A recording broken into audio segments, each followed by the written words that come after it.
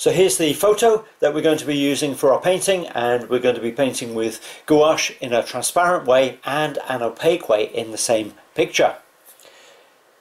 I'll be using a number 6 round brush and a half inch flat and Winsor & Newton gouache paints and I'm using uh, Bockingford watercolour paper to paint on. I've put some uh, masking tape around the edges of my painting so I can just splash it on without worrying about the edges. First things first is the drawing, just putting in a few of the basic lines that we need.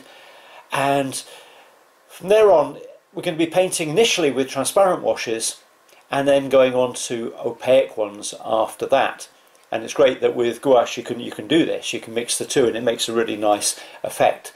So initially we're going to be putting in the sky using ultramarine at the top and cerulean underneath, just spraying everything to keep it nice and moist and we're just going to lay in the sky as if it was a watercolour wash really. So it's nice and thin watery paint and just want to put the the sky in with some ultramarine at the top a bit of cerulean underneath. That gives a nice impression that the uh, the sky is lightening as it goes down towards the the horizon and really kind of copies what we see in the sky.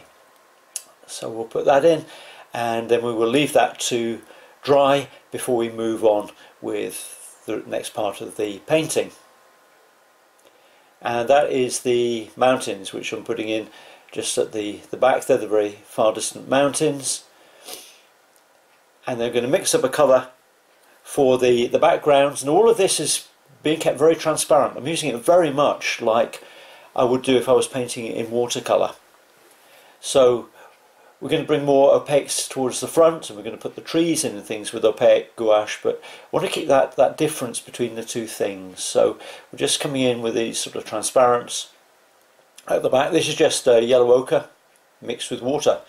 And uh, in one or two places I'm going to add in a little bit of burnt sienna as well just to uh, warm that up a bit just to bring in a bit more uh, contrast and a different colour towards the front, a little bit more red coming in there but basically we just want to get this covered with uh, a warm colour and we'll put the trees in on top of a bit later on.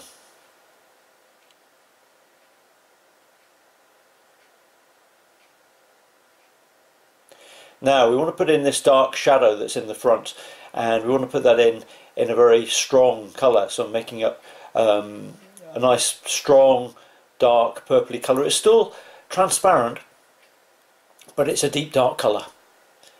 Uh, so it's not thick paint, it's quite thin paint, it's the uh, consistency of tea, but it's a nice strong colour.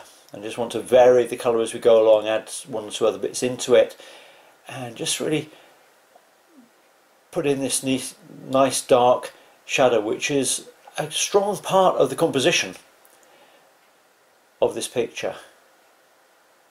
It's a necessary element within the picture, so we want to get it in. We want to get it at the right strength as well.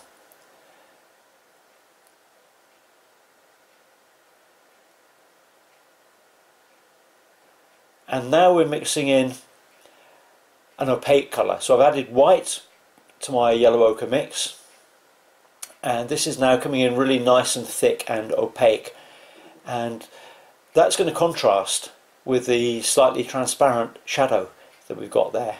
And also it's going to contrast with the background as well, which is also uh, transparent. And it's going to bring the foreground forward. It's going to make it a lot stronger. And because it's this sort of creamy consistency, because it's opaque, I can add in all the little bits that we see in the shadows there, little bits of sunlight that come through, that break through where the leaves are in the trees.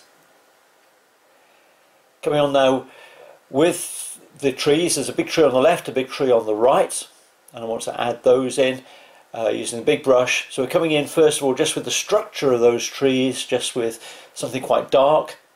Again, because we're using gouache, we'll be able to come in with something light over the top of that, which is, uh, is great. I find painting in gouache is so releasing because you can you can do dark over light and light over dark. You can just paint the way that your heart feels rather than having to follow watercolour rules.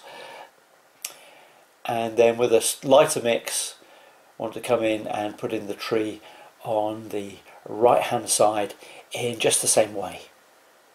they're not the same colour. The one on the right is lighter than the one on the left and it's more yellowy as well. So just want to keep that, that difference between the two trees.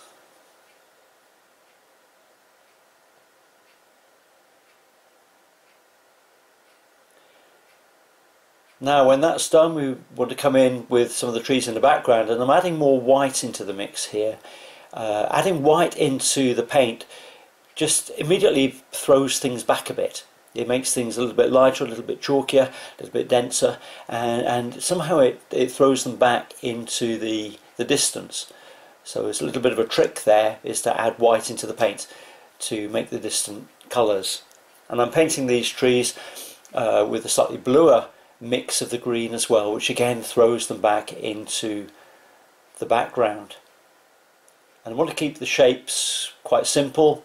We don't see a lot of detail in the background, so just want to keep it simple, keep it fairly flat, and not put much detail in. The detail will come in the trees in the front when we get to those, and they'll contrast them nicely with the ones in the background and throw them even further back into the distance. I think this is sort of a, a painting and a picture that, that makes you want to walk through between those two trees and go go back into the distance, go back to those those far distant mountains there. Um, it's what I like about about the original photo is that it, it, tends to make you want to walk into it and go back and uh, just see what's what's back there. And so we want to try and capture that if we can, with a sense of recession here.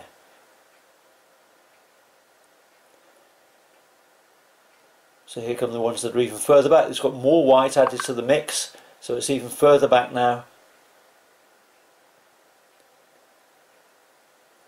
Just altering the colours a little bit. Sometimes more greeny, sometimes more bluey, but keeping it pale, keeping it simple. And just dropping these lines of of trees and whatever in the back. Now in the photograph a lot of these are brown but I've chosen to go into sort of a more bluey greeny colour and purpley colour um, just because it throws them back into the distance. Browns and reds tend to bring things forward so what we're doing is trying to keep them in the distance and adding in just a few of these little tiny trees that are there. I don't want to put them all in otherwise the whole thing will just become very spotty. So we're just putting a few in to indicate that there are uh, rows of trees back there. Now this is Spain, so these are uh, olive trees that are back in the distance. But just a few, not all. Just keep it reasonably sim simple and just dot them in. And that's probably enough.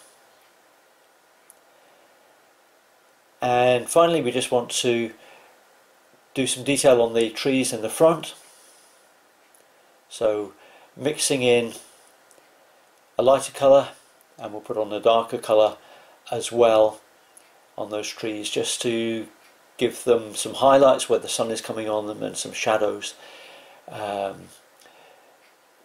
and to create a bit of form on them. So I just want to drop in these colours using just the corner and the edge of the, the flat brush there just to bring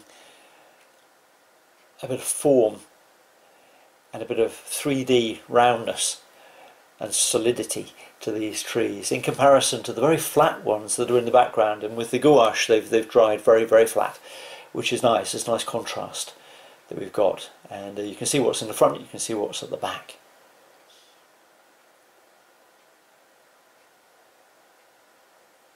So you can add as much detail as you want or as little. And I'm just going to I'm going to wash with a very thin wash over that shadow. It's very purpley. So I'm just going to deaden that down a little bit with a little bit of a brown over the top just to knock the, uh, the brightness off it. And just use the brush to add in one or two extra little bits in the foreground. Little bits of detail, little bits of interest. But we're rapidly coming to the end of the picture.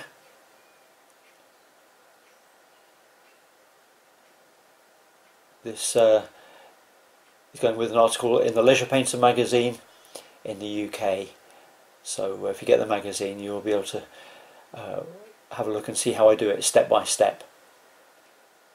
So I hope you've enjoyed that and why don't you have a go at something like that yourself with opaque and transparent gouache. See you next time.